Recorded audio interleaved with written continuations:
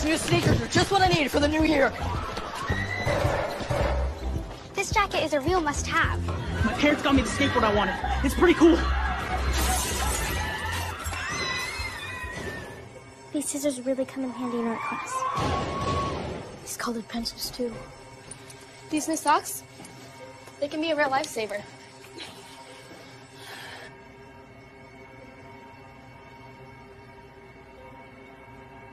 And I finally got my own phone to stay in touch with my mom.